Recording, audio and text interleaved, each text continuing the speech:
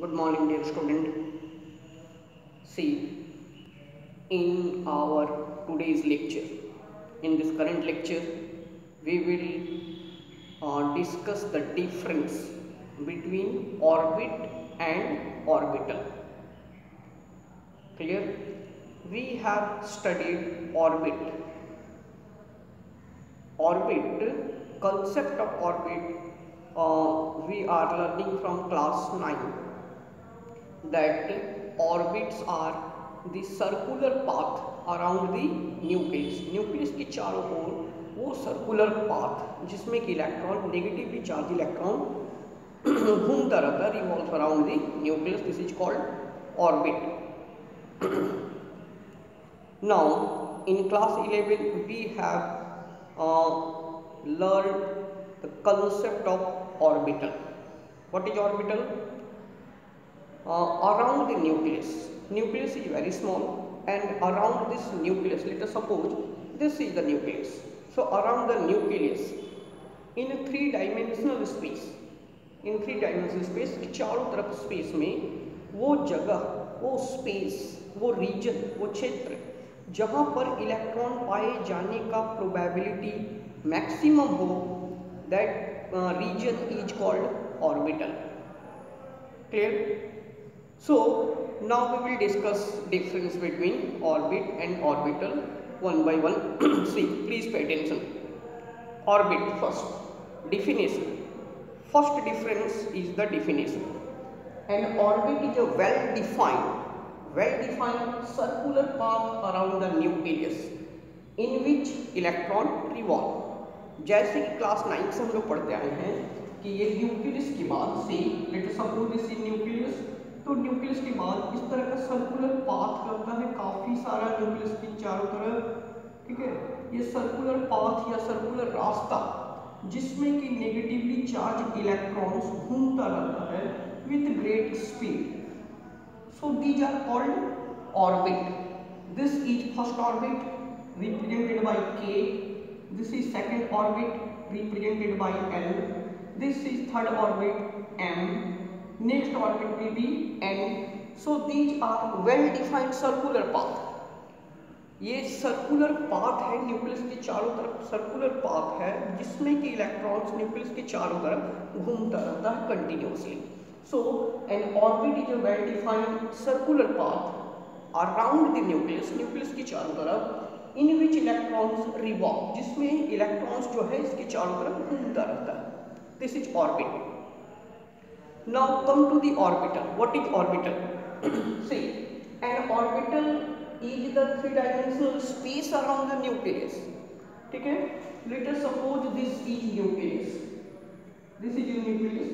तो न्यूक्लियस के चारों तरफ़ स्पेस में in three dimensional space I saying वो जगह जहाँ पर इलेक्ट्रॉन पाए जाने का प्रोबेबिलिटी से कहीं पर भी इलेक्ट्रॉन पाया जा सकता है इस तरीके से ठीक है तो वो स्पेस न्यूक्लियस की चारों तरफ़ का वो स्पेस वो रीजन ठीक है? वेयर जहाँ पर कि इलेक्ट्रॉन पाए जाने का प्रोबेबिलिटी मैक्सिमम हो, वो रीजन थ्री डायमेंशनल स्पेस में न्यूक्लियस के चारों तरफ़ का वो रीजन ऑर्बिटल कहलाता है। So definition is an orbital is the three dimensional three dimensional space around the nucleus nucleus की चारों तरफ़ स्पेस में ये हर प्लेन पे, ये एक्स प्लेन पे वाई प्लेन जेड प्लेन किसी भी प्लेन पे, वो जगह, वो रीजन वो क्षेत्र जहाँ पर इलेक्ट्रॉन पाए जाने की प्रोबेबिलिटी मैक्सिमम हो, उस रीजन को, उस क्षेत्र को क्या कहा जाता है? ऑर्बिटल तो orbiter is the three dimensional space around the nucleus within which जिसके अंदर probability of finding electron is maximum clear? Come to second point of difference. Second is, it represent planar motion of electron around the nucleus. ये जो है orbit ये एक plane पे see this is एक plane पे मोशन को represent करता है इलेक्ट्रॉन के एक प्लेन पे. So this is called planar motion तो ऑर्बिट जो है इलेक्ट्रॉन्स के प्लैनर मोशन को रिप्रेजेंट करता है। अगर ये न्यूक्लियस हो तो इस तरह से इलेक्ट्रॉन्स घूमेंगे, यानी एक प्लेन पे, इसी प्लेन पे। ठीक है? तो orbit represent planar motion of electron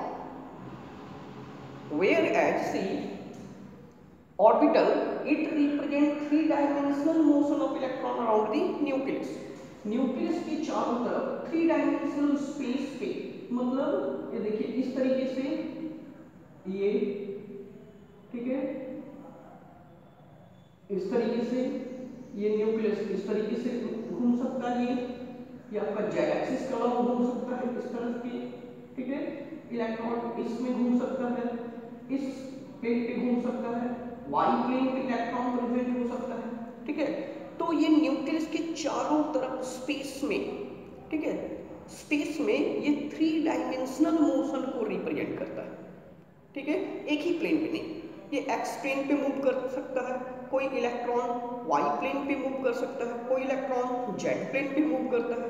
तो this orbital orbital represents three dimensional motion of electron around the nucleus come to third point of difference third is all orbits are circular in shape from class ninth we are studying that all the orbits the circular path around the nucleus, in which electron revolve वो circular रास्ता जिसमें कि nucleus के चारों तरफ़ electrons negatively charge particle घूमता है, वो सभी का शेप कैसा होता? है circular K shell circular L shell circular M shell circular तो सभी सर्कुलर शेप के होते हैं। न्यूक्लियस के बाद इस तरह से circular K shell then L shell then M shell clear जो प्लेनर मोशन को रिप्रेजेंट करता है।